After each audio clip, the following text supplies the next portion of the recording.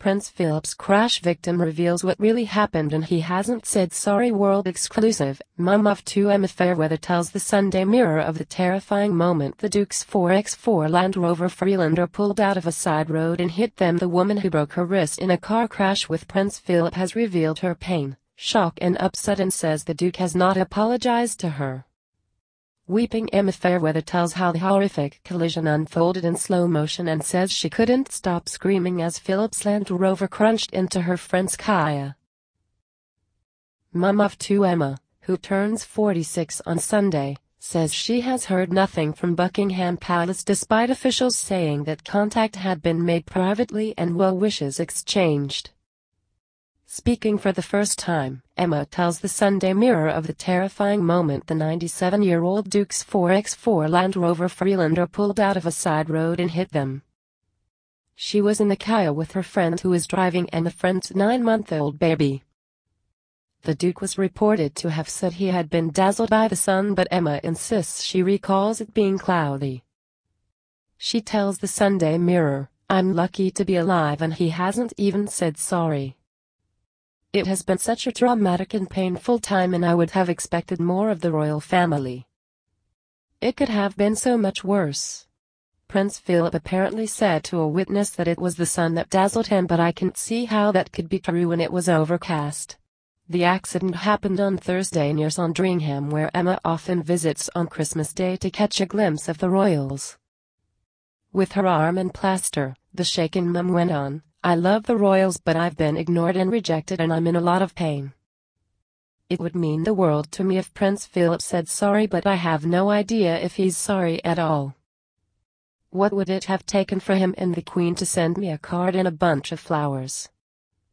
Emma claims she received a phone call from police but had heard nothing from the Royals or their household. She says, I was just advised not to speak to anyone and told to expect a call from the palace yesterday. I know the Queen is a busy lady but I was really excited at the idea she might phone me. Instead, I got a call from a police family liaison officer. The message he passed on didn't even make sense.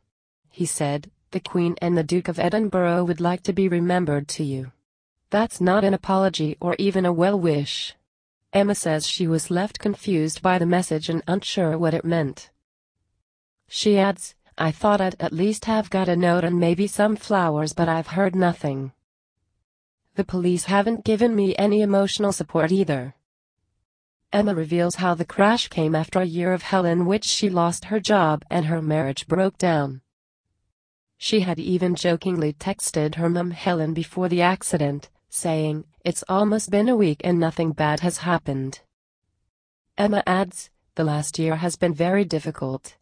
I've had a lot of bad luck but I finally felt my life was going in the right direction.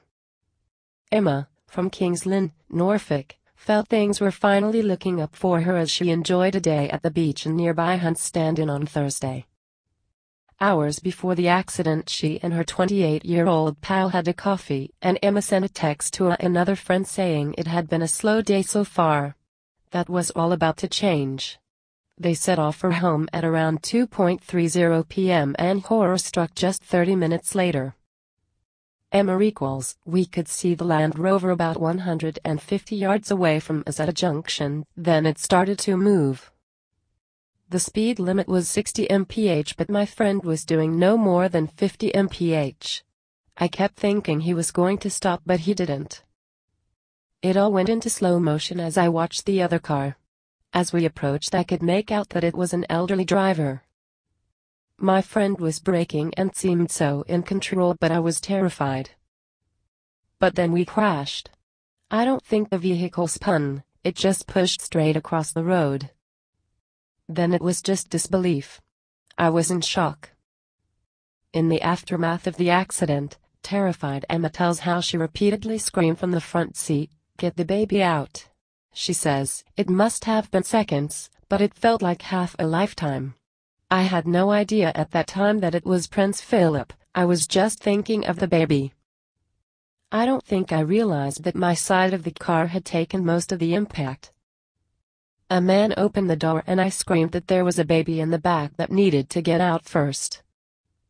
but then everyone went over to the other car and I was panicking that they were going to forget about me. I felt trapped, it's so hard to think about now. I'd never broken a bone before but I knew my wrist was broken, I was in so much pain. Emma was eventually helped from the car by a passerby. Then witness Victoria Warren, 72, told her the identity of the other driver. As Mrs. Warren's husband Roy helped the Duke out of his overturned car, the royal is said to have been heard blaming the dazzling sun for the collision. Mr. Warren has told how he had a small amount of the prince's blood on his hands presumed to have been from minor cuts. Emma goes on, the lady came over and said, You do know who that is, don't you? I thought it was just an elderly gentleman but she said, it's Prince Philip. I was shocked. It was a very confusing emotion. I felt so upset and overwhelmed.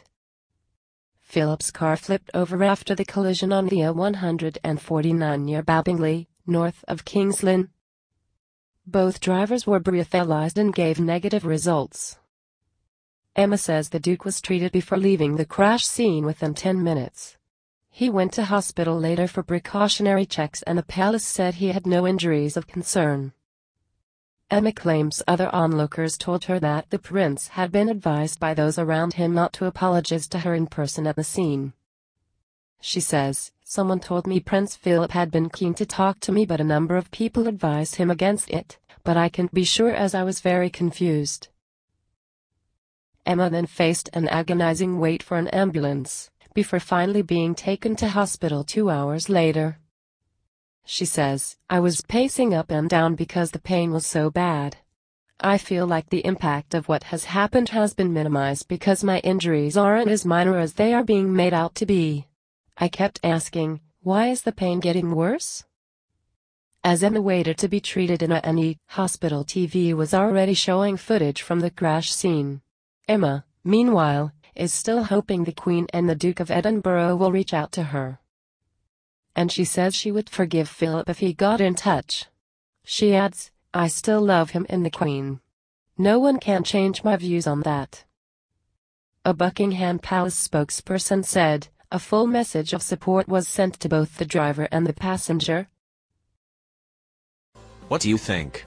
Share your thoughts in the comment section below and don't forget to subscribe to get instant news update.